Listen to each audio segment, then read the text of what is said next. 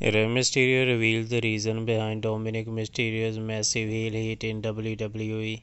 It is not what anyone expects. WWE Hall of Famer recently joked that his son's mustache, not their ongoing family drama, is the real reason fans love to hate him. While speaking on Rosenberg Wrestling, Rey Mysterio reflected on how his own beloved babyface status might have initially triggered the audience's disdain for Dominik Mysterio.